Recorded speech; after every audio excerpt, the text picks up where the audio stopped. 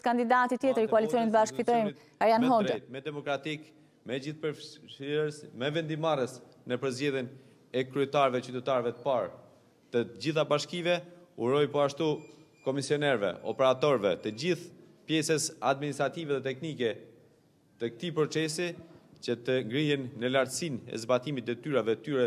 dhe përgjegjësive të tyre politike e shoqërore, për të garantuar një proces sa më drejt, sa më transparent dhe sa më të sa më gjithëpërfshirës dhe absolutisht një proces që duhet të jetë dinjitoz që të shprehë absolutisht nxjerrë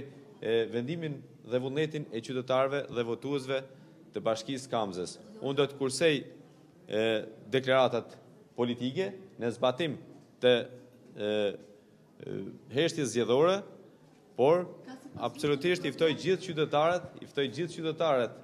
me të drejtë vote që sot të shprehin vullnetin e tyre si një detyrim shoqëror që kanë në përzgjedhjen e atyre menaxherëve që të cilët do të merren për 4 vite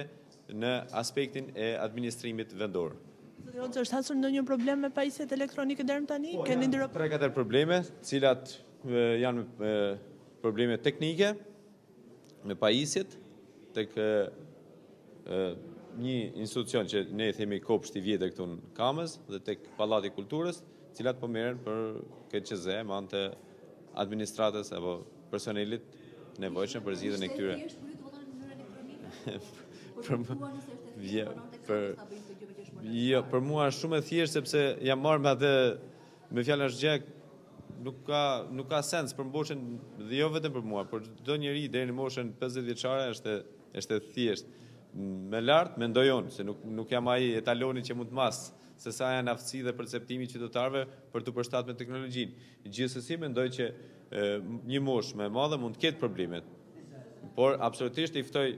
meqenëse bëtë pyetjen, operatorët që të qëndrojnë në distancë, sipas përcaktimeve që bën që ka bërë edhe manuali udhëzues i Komisionit Qendror të Zgjedhjeve, të mos afrohen sepse në distancë të papërcaktuar në mënyrë që të mos kemi asnjë problem Gjatë kësaj dite, të mos diktojnë vullnetin dhe votën e qytetarëve, të lihen të lirë, po ashtu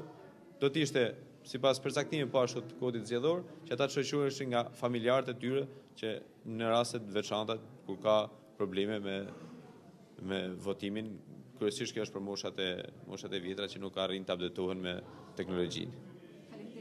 Ju faleminderit për interesimin dhe mbarë të gjithëve.